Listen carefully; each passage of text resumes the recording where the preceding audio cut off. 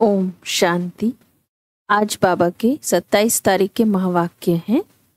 आज बाबा ने कहा, मीठे बच्चे, रूहानी सर्जन, तुम्हें ज्ञान योग की फ़र्स्ट क्लास वंडरफुल खुराक खिलाते हैं। यही रूहानी खुराक, एक दो को खिलाते, सबकी खातरी करते रहो। प्रश्न बाबा ने पूछा, विश्व का राज्य भाग्य लेने के लिए कौन सी एक मेहनत करो? पक्की पक्की आदत डालो। बाबा ने कहा, ज्ञान के तीसरे नेत्र से अकाल तख्त नशीन आत्मा भाई को देखने की मेहनत करो। भाई भाई समझ, सभी को ज्ञान दो। पहले खुद को आत्मा समझ, फिर भाइयों को समझाओ। यह आदत डालो तो विश्व का राज्य भाग्य मिल जाएगा।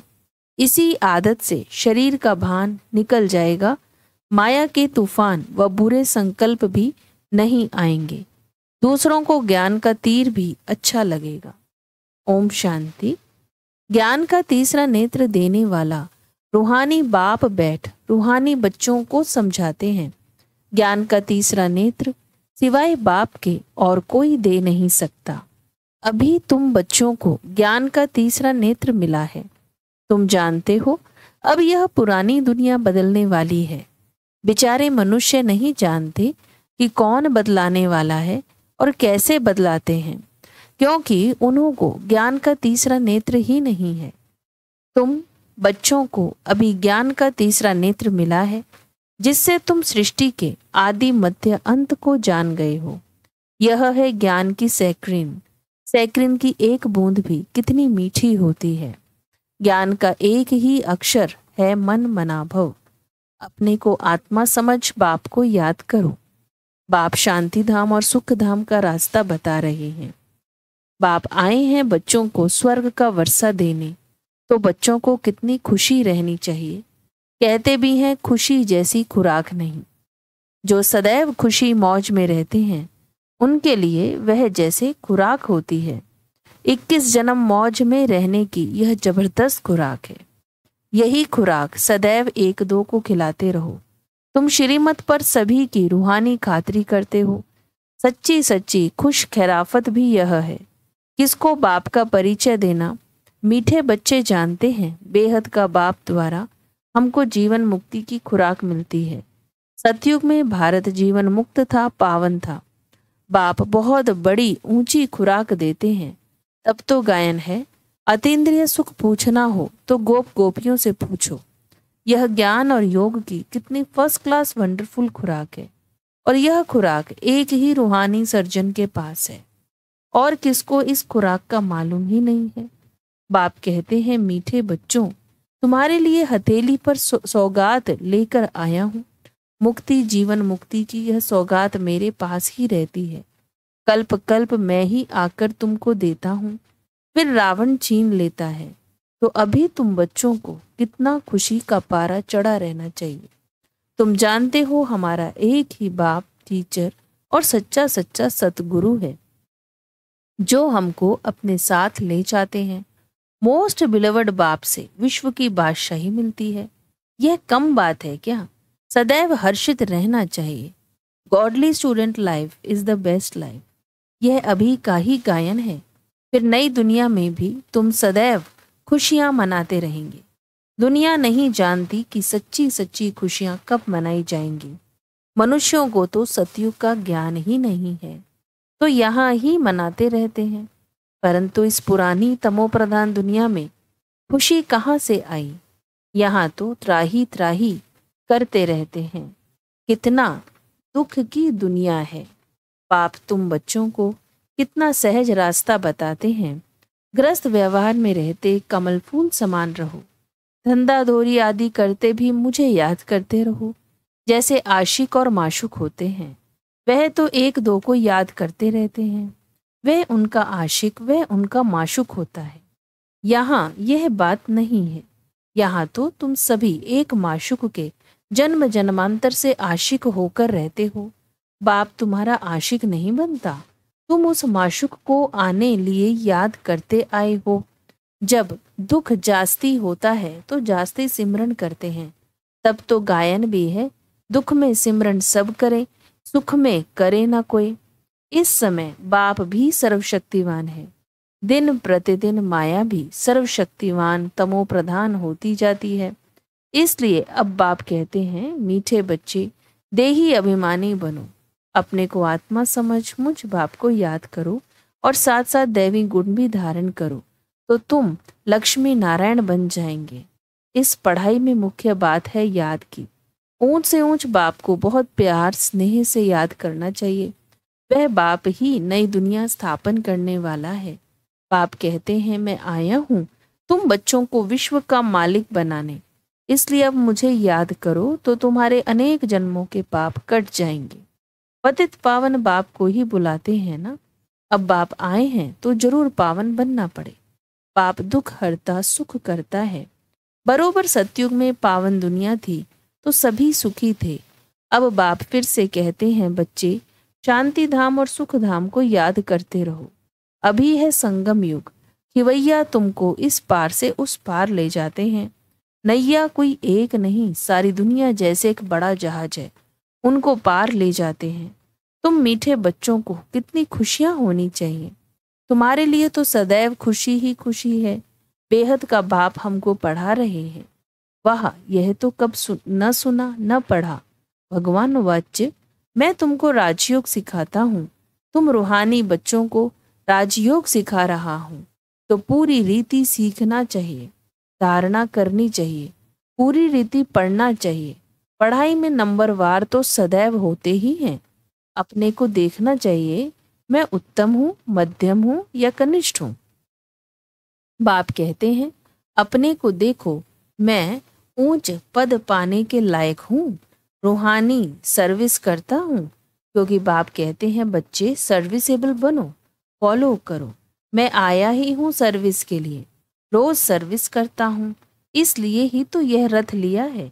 इनका रथ बीमार पड़ जाता है तो मैं इनमें बैठ मुरली लिखता हूँ। मुख से तो बोल नहीं सकते तो मैं लिख देता हूँ, ताकि बच्चों के लिए मुरली मिस ना हो। तो मैं भी सर्विस पर हूँ ना? यह है रूहानी service.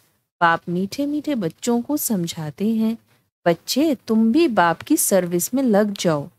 On God fatherly service सारे विश्व का मालिक बाप ही तुमको। विश्व का मालिक बनाने आए हैं, जो अच्छा पुरुषार्थ करते हैं, उनको महावीर कहा जाता है। देखा जाता है कौन महावीर आए हैं। जो अच्छा पुरुषार्थ करेंगे, वो ही महावीर बनते हैं। पाप का फरमान है, अपने को आत्मा समझ, भाई भाई देखो, इस शरीर को भूल जाओ। बाबा भी इन शरीरों को नहीं देखते हैं। बाप कहते हैं मैं आत्माओं को देखता हूँ, बाकी यह तो ज्ञान है कि आत्मा शरीर बगैर बोल नहीं सकती। मैं भी इस शरीर में आया हूँ, लोन लिया हुआ है। शरीर के साथ ही आत्मा पढ़ सकती है। बाबा की बैठक यहाँ है। यह है अकाल तख्त। आत्मा अकाल मूर्त है। आत्मा कब छोटी बड़ी नहीं होती। शरीर छोटा बड़ा होता है। जो भी आत्माएँ हैं, उन सभी का तख्त या ब्रकुटी का बीच है। शरीर तो सभी के भिन्न भिन्न होते हैं। किसका अकाल तख्त पुरुष का होता है, किसका अकाल तख्त स्त्री का होता है, किसका अकाल तख्त बच्चे का है। बाप बैठ बच्चों को रूहानी ड्रिल सिखलाते हैं। जब कोई से बात करो तो पहले अपने को आत्मा समझो।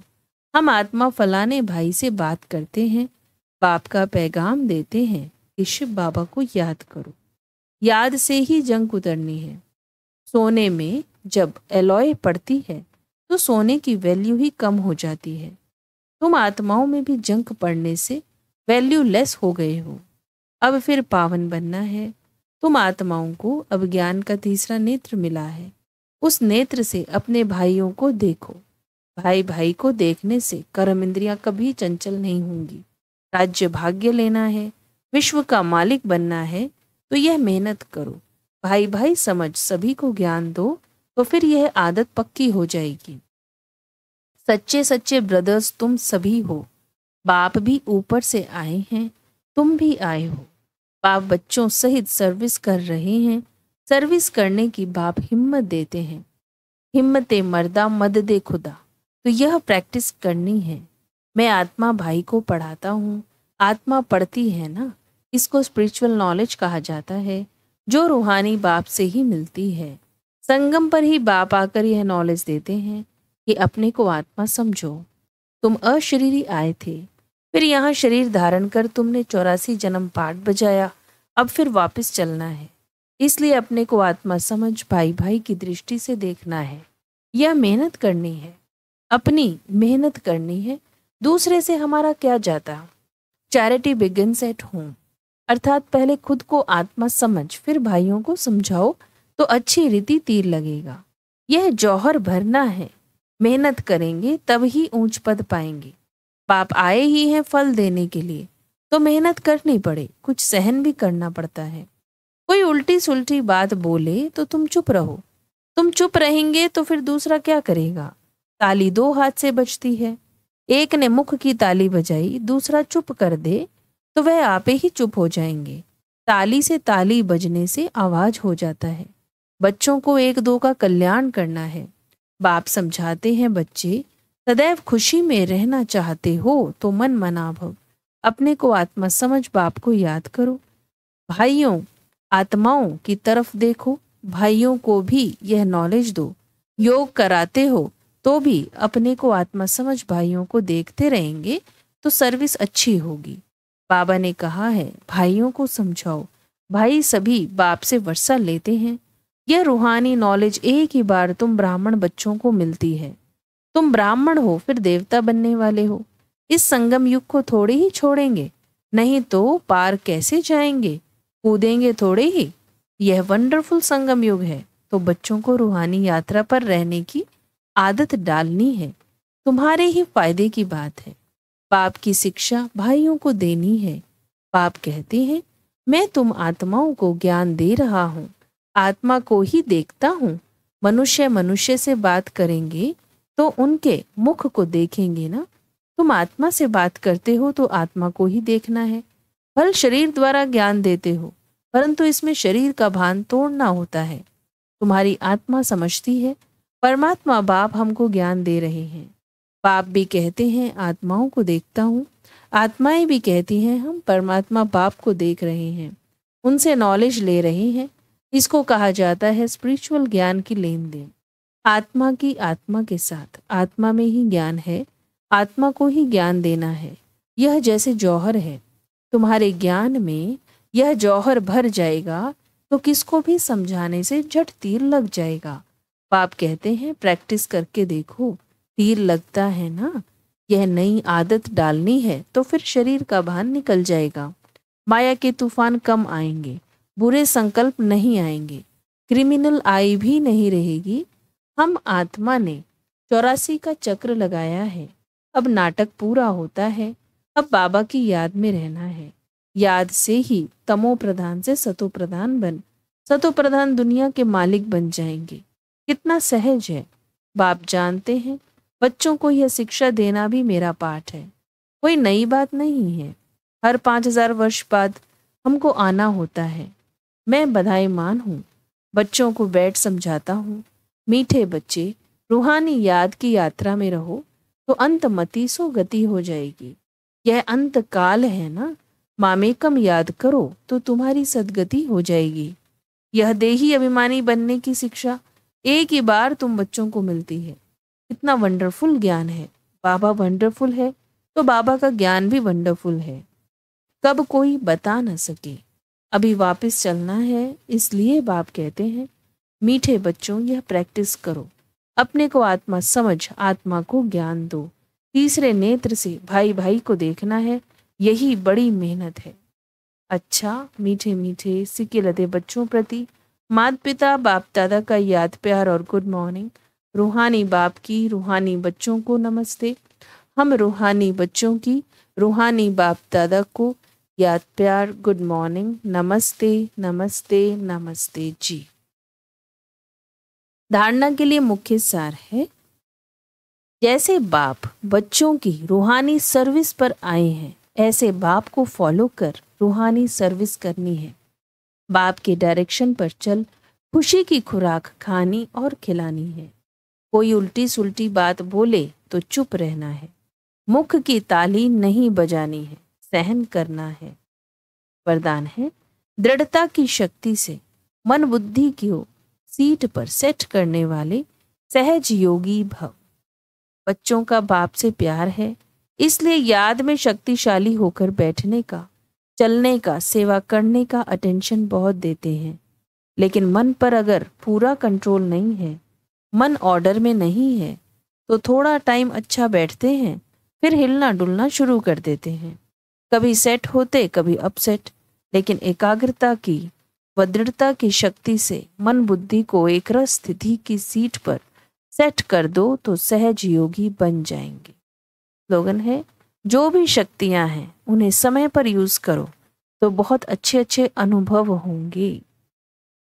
अव्यक्त साइलेंस द्वारा डबल लाइट फरिश्ता स्थिति का अनुभव करने के लिए आज का अभ्यास है। अब हर एक ब्राह्मण ब्रह्मा बाप समान चैतन्य चित्र बने लाइट और माइट हाउस की झांकी बने। संकल्प शक्ति का साइलेंस का भाषण तैयार कर, कर्मातीत डबल लाइट फरिश्ता स्टेज पर वरदानी मूर्त का पाठ बजाए। तब संपूर्णता समीप आएगी। उस कर्मातीत स्टेज के आधार पर, जिसके प्रति जो संकल्प करेंगे, उसके पास वह संकल्प पहुँच जाएगा। अच्छा? ओम शांति